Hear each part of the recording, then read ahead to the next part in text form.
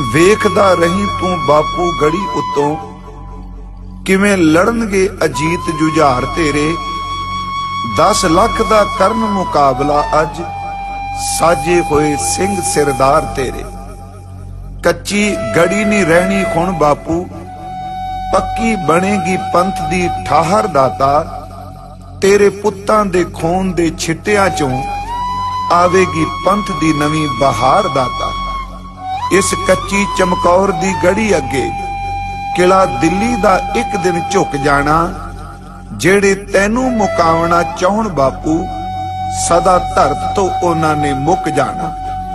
ਮੇਰੇ ਸੋਹਣੇ ਪੰਥ ਦੇ ਪਾਤਸ਼ਾਹ ਜੀ, ਬਖਸ਼ੀ ਸਿਦਕ ਤੇ ਨਾਮ ਦੀ ਦਾਤ ਮੈਨੂੰ, ਖੂਨ ਭਿੱਜੀ ਧਰਤ ਸਦਾ ਰਾਹ ਚੁੰਮਦਾ, ਵਿਸਰੀ ਕਦੇ ਨਾ ਦਿਨ ਤੇ ਰਾਤ ਮੈਨੂੰ।